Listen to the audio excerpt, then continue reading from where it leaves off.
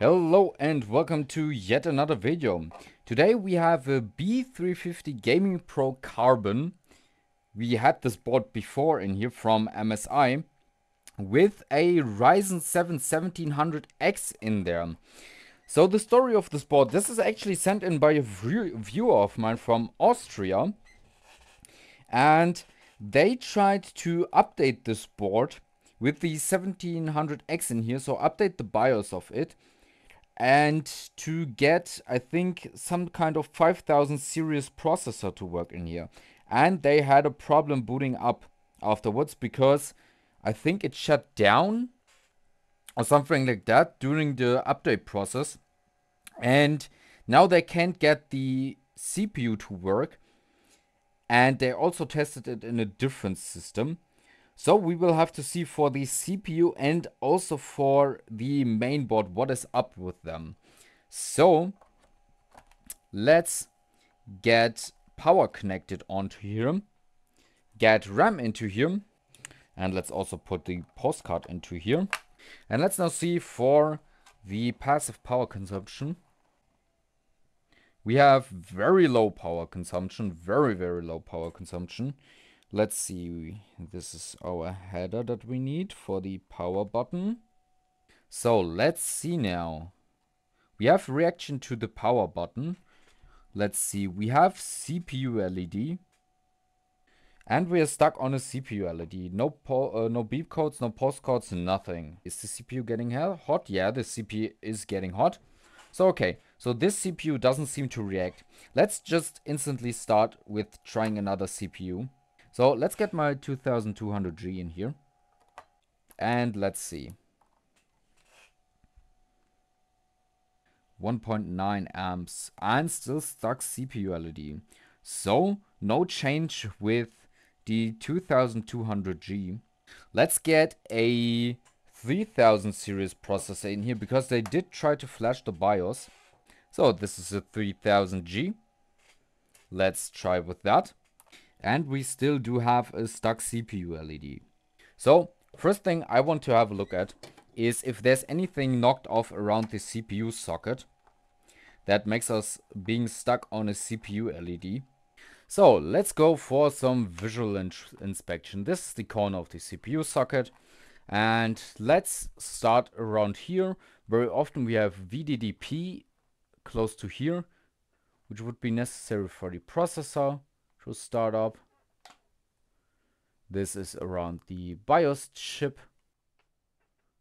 We have our coin cell. And nothing obvious so far. Here. Looks fairly clean so far. Nothing out of the ordinary. Let's see here. This is for the VCore, so this is the PWM controller. This is just a hair. Interesting that there's a little bit of exposed copper there. But nothing seems to be damaged around there. Yeah, nothing really I can find here. No obvious damage so far for the board. Let's go around the SIO. So let's see if there might be something knocked off here. Okay, nothing seems off here. Everything looks fine. Let's see, this is the 3VSB circuit. I don't think there's any problem here. So nothing obvious on the front. Let's check the back. This side here kind of looks like it's that someone was soldering here. Very, very interesting. Like, you see how much solder there is on these components here? This looks like someone has been working on here before. And no one told me about that. Okay. Let's just keep that in mind. We might want to check that area under the uh, board view. These are the right components that are fitted here. So, no obvious damage uh, so far to be seen here. So, what I will do now is I will be connecting to this TPM header that we have right here right above the BIOS chip, connect that to my programmer and program the BIOS and see if that can already have a change for our mainboard here. So I was now able to flash the board. Let's turn it on. We have the same power consumption. Let's try to press the power button. We have the 1700X in here, which is the CPU that was provided uh, with the main board. And let's see if we get to VGA LED. So we have CPU. And CPU went off. And it turns on. And let's see. We should get DD, uh, DRAM and then VGA next. Seven and a half amps. That's a lot of amps. That is a hungry processor. Let's see. And there's VGA. And now it complains about missing VGA. That is very good to see. So this seemed to be indeed a issue with the BIOS. So let's put a GPU into here. And let's also put some more RAM into here. And now let's turn on with all of the RAM populated and a GPU in here.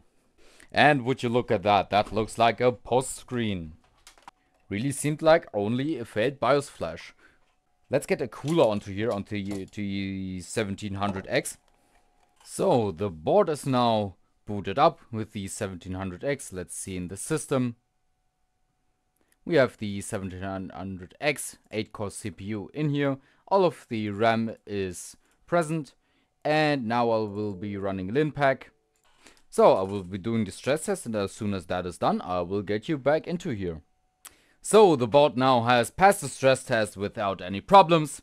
So the 1700X is also fully functional, which is very good because the thing was that the previous owner had problems uh, verifying on another board with the 1700X. And yeah, but I, I cannot see any problem here. So now the board is fixed. All there was was a BIOS issue. So all there was was a failed BIOS flash. And that caused the issue. And yeah, so a stuck CPU LED can also be a, a failed BIOS flash, especially if you have very high power consumption like we had about 2.2 amps, then it also can be just a failed BIOS flash. So I am very happy that I was able to help that person uh, get their board back to working and verify that the 1700X is also working. So Thank you very much for watching. As always, all of my tools are linked in the video description. Thank you very much for watching. Hope that you subscribe and that you I can see you in the next video. Thank you very much and goodbye.